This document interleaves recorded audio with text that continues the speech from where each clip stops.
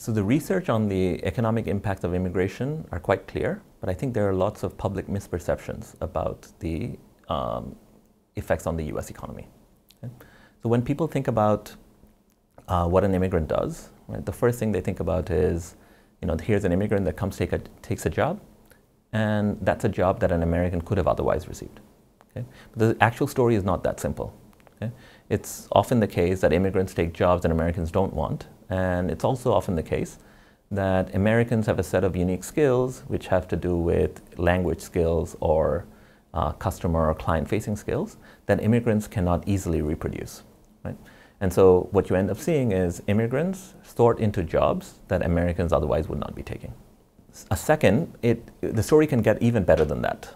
Right? Uh, so rather than immigrants not just being substitutes for American workers, they may even be complements for those workers. So one example would be an immigrant uh, willing, who's willing to take a low-paying job, right? Say at the back of a restaurant washing dishes. Right? That makes the restaurant business more sustainable and viable, and allows the rest restaurant owner to hire more American workers to be client-facing, say as maitre d's or waiters or managers. Right? Could also be the case that if immigrants are take, coming in and uh, taking low-paying fruit picking work, as they often do uh, in the U.S., that makes a vegetable business or a fruit business more viable, right? and that creates jobs for Americans downstream.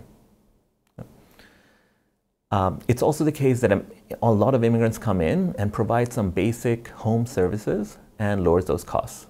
So, for example, research shows that in cities that have higher fraction of immigrant workers, the cost of lawn mowing, the cost of babysitting, and other such services are lower.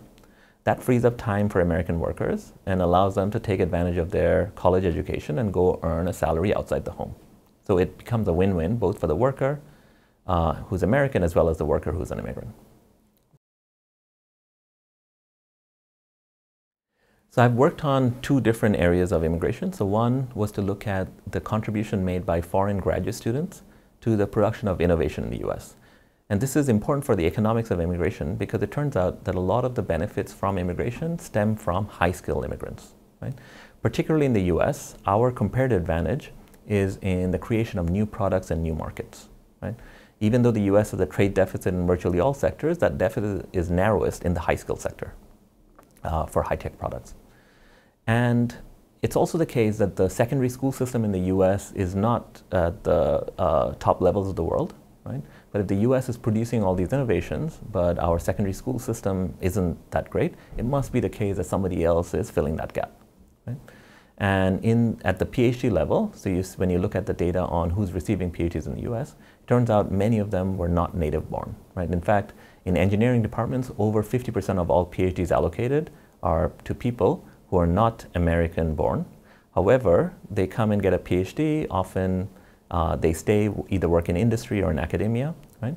And those uh, organizations or those firms produce innovations that then benefit the US economy. Right? So I track this by looking at detailed data on who is receiving PhDs in the US between 1950 and 2000, and then track relating that to the, the output, scientific output that comes out of those labs, so in the form of publications and citations, but also in the form of patents and patent citations, which is a useful measure of innovation. Right? And what you find is both American and foreign-born students are important contributors to the production of innovation out of the US.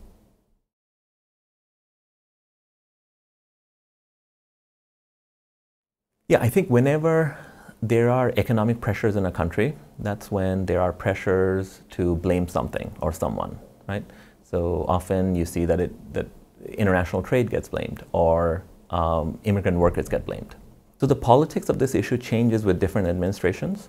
However, the economics remains the same, and it's important for us to get the economics right because immigrants make a strong contribution to our economy. And if we institute restrictions on the free movement of people, and especially the movement of high-skilled people, there is a great risk that the economy slows down. So Japan has experienced this about 40, 50 years ago, they had, a period, they had periods of high growth when labor costs were still re relatively low in Japan. But as labor costs increased, but due to their stringent economic and immigration policies, they did not allow uh, immigrant workers to come in and replace the native workers.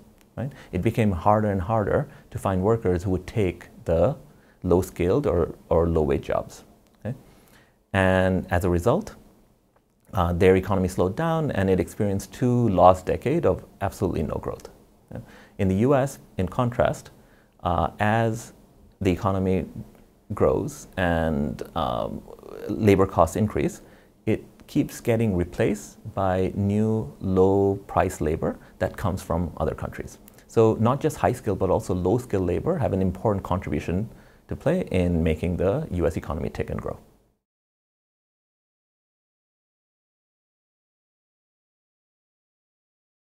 Yeah, I think uh, if you look at the research on the topic of immigration systematically, right, and you do a meta-analysis of all the hundreds of studies that have been done, it is very difficult to make a logical and economic-based case for putting restrictions on the free movement of labor. Uh, however, it is the case that um, the emotions are run high and the politics become more difficult when there are segments of the economy here who are hurting. Right? So we do need to think a lot, lot more carefully about how, how the costs and benefits of immigration get distributed across society. Okay? So if an immigrant comes in, there is, you know, in some cases where an American worker who loses their job, or uh, that puts a downward pressure on the wages of the American workers, right? So they bear the cost. However, overall, the economic research is clear that that immigration contributes to overall efficiency increase in the economy as well as growth. Right? Now, if those same American workers who are losing their jobs are not seeing the benefits of that growth, then there's of course going to be uh, political pressure to put barriers to immigration.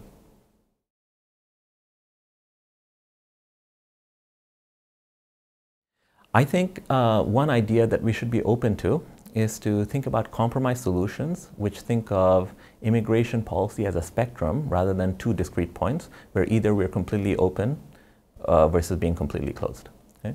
So uh, one problem I see right now is that countries like the US or Canada or Germany, right, when they let immigrants in, those immigrants have a clear path to full citizenship and all the rights that come with citizenship. And that may make native populations in those countries very nervous about letting people from a different culture, who speak a different language, come with different beliefs, right? Um, uh, come with a different history, who come in and share not just the land temporarily, but also shares uh, an identity and citizenship with, uh, with the native population. Okay? Uh, so there are lots of countries that have chosen middle of the road policy options. So for example, you might allow immigrant workers to come and work temporarily, especially in categories of jobs and skill categories where there are uh, excess needs in the economy. Right? And in those cases, so, uh, so many Asian countries, Singapore, Malaysia, and also countries in the Middle East, uh, like Kuwait, have uh, immigration policies of that nature, where there are much larger um, stocks some immigrants coming into those countries every year, but they stay temporarily, and the day they walk in, they know there is never going to be a clear path to citizenship here. Right? But because that policy then makes the native population of those countries less nervous, right?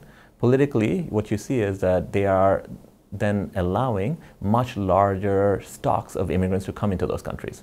And in effect, they actually have a much larger, they make a lot, much larger contribution to human welfare by allowing up to like 75% of the population of those countries to be not native born. Right? So we might also, I'm, so I'm not suggesting that the US should follow the immigration policy of Kuwait. Right? You also have concerns about uh, violation of migrant rights in those countries. Right? But the point of thinking of immigration policy as a full spectrum rather than discrete points is that you can choose whatever point in that spectrum you are most comfortable with. So the US labor laws uh, and our views of human rights should be applied. And maybe we choose a different point on the spectrum where we care a lot more about migrant rights. Right? But at the same time, that opens up the option for us to let in a lot more people who then contribute to our economy. And in exchange, we also make a larger contribution to the betterment of human life all over the world.